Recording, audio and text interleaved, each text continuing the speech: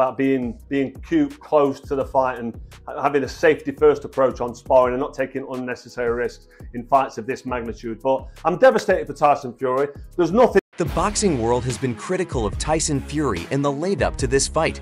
Carl Froch was especially skeptical about the Gypsy King returning to the boxing ring again.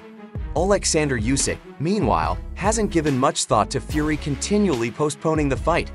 He has been training hard over the past year and has been collaborating with fellow heavyweights. Uh, with Vladimir, uh, yes, Vladimir uh, give me advice, yeah, but now it's secret.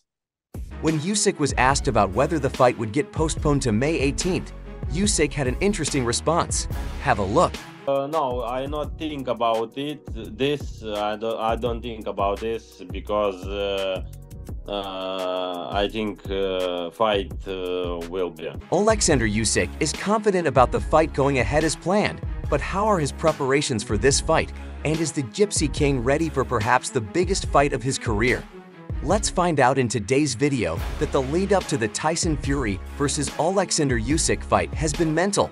The undisputed heavyweight title clash was originally supposed to take place on February 18th but was delayed after the Gypsy King sustained an unfortunate injury to his eye during a sparring session, which ruled him out of the fight for several weeks. Stop! Stop!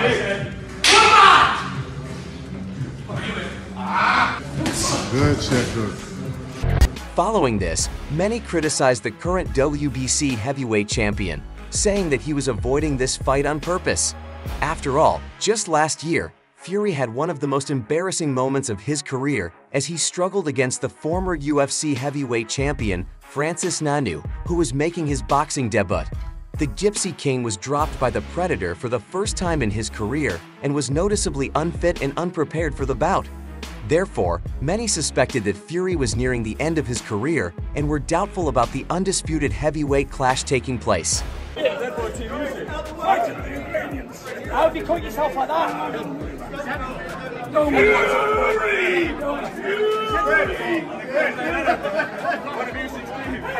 Former British champion Carl Froch was especially critical when the Gypsy King... Former British champion Carl Froch was especially critical when the Gypsy King sustained the injury.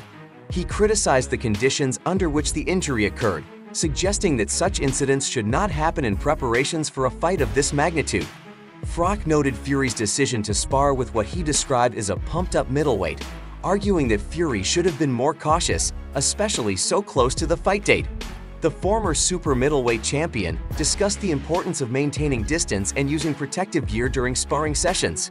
He criticized Fury for not wearing a full face guard, which could have prevented the cut, and called the sparring session sloppy, stating that top champions like Floyd Mayweather and Canelo Alvarez have managed to avoid such incidents through careful preparation. Hey, the greatest show on earth has begun here in Saudi Arabia! The disappointment was palpable, not just for the fighters but for the boxing community and the fans eagerly awaiting the bout. He reflected on the broader implications of the fight's postponement, questioning the preparation, strategies employed by Fury's camp, and the decision-making leading up to this critical point at the time. Boxing experts were busy blasting the Gypsy King for his carelessness in the lead-up to such a highly anticipated fight, but there was one person who kept his cool throughout the ongoing drama. Fury's opponent Alexander Usyk kept calm and even believed that the fight would go ahead on the rescheduled date of May 18. Usyk refused to criticize the Gypsy King and simply asserted that his opponent had run out of excuses to delay the fight again, he probably knew that Fury was would lose his golden opportunity to become an undisputed champion if he decided to create any more drama. However it's worth noting that Usyk was least bothered about the drama from the outside world. He was rather focused on training and preparing for his upcoming fight during his previous interview. Usyk revealed his strategy to distance himself from social media and the accompanying speculations regarding his opponent. This strategy is not just a personal preference, but a tactical move. In the high-stakes world of boxing, mental preparation is as crucial as physical readiness. By avoiding the potential distractions and provocations typically found on platforms like Instagram and X, he ensures that his mental space remains clear and focused solely on the task at hand. This approach indicates the maturity and level of professionalism that champions are made of. I can do KO, I do.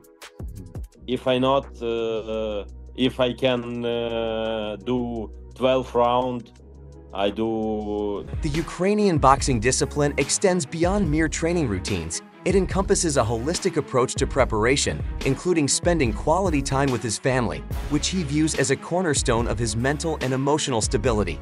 This balanced lifestyle is indicative of a fighter who understands the importance of maintaining a healthy mind and spirit, not just a strong body. Usyk's readiness, both mentally and physically, serves as a silent challenge to Fury. It's as if Usyk is saying, I am here prepared, undistracted, and unwavering. What's your next move? This situation places pressure on Fury to step up and commit to the fight, leaving behind the shadows of doubt and speculation that have lingered over this bout. Furthermore, Usyk's determination to see the fight materialize speaks volumes about his character in a sport where talk often overshadows action. Usyk prefers to let his preparations and commitment to the fight speak for themselves. This not only endears him to fans who yearn for athletes who walk the talk, but also adds an intriguing layer to the Fury versus Usyk narrative. During the interview, Usyk also shed some light on his preparation for the most important fight of his career, he revealed that he is training with fellow Ukrainian heavyweight Vladimir Klitschko. The Ukrainian's meticulous preparation for his showdown with Tyson Fury is a chess move that underscores the depth of his strategic thinking about aligning with Vladimir Klitschko. A former heavyweight champion who has first-hand experience with Fury Usyk is not just training. He's assimilating a wealth of knowledge and insight that could prove pivotal in Fight Night, Klitschko's 2015 loss to Fury. This unique case study offers lessons on both the psychological and physical sides of facing the Gypsy King. This collaboration signals Usyk's intent to leave no stone unturned in his quest for victory. The decision to bring Klitschko into his camp is a testament to Usyk's understanding of the multifaceted challenge that Fury represents with his unorthodox style and towering presence, and Mind Games is not an opponent that can be prepared for with conventional methods. Klitschko, with his extensive experience and analytical approach to boxing, brings a wealth of tactical knowledge that can help us decode Fury's complex puzzle.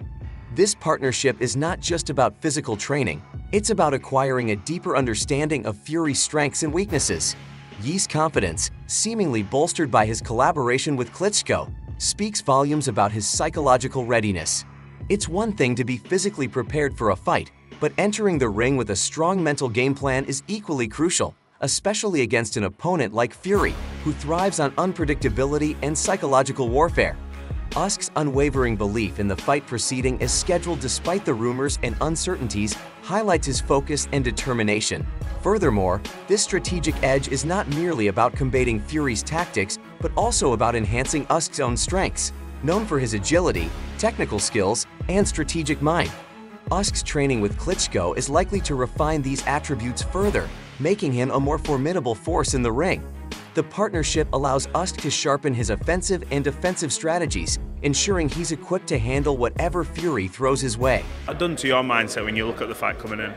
Look, boxing fans or boxing people or any fans, I suppose, in sport can be quite fickle and you're as good as your last. Macklin observed that Fury appears to have an excellent physical condition for the fight, which he believes could influence the outcome.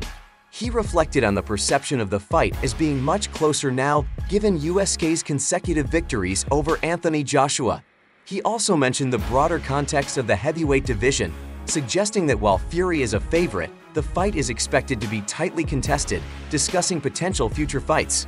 Macklin speculated on the implications of the fight's outcome for Fury's career, he pondered whether a dominant victory by Fury might negate the need for an immediate rematch with Usyk and possibly set the stage for a highly anticipated match against Anthony Joshua. Macklin emphasized that while Fury might not need to prove anything further, a fight against Joshua would be significant for the fans and for solidifying Fury's legacy in this era of heavyweight boxing. The boxing world is pumped up for this fight, but do you think Usyk will have the advantage in this one? Let us know in the comments. That's it for today. Don't forget to like and subscribe to the channel. Turn on the bell for the latest notifications so that you never miss out on videos like this. Thanks for watching, and we'll see you in the next one.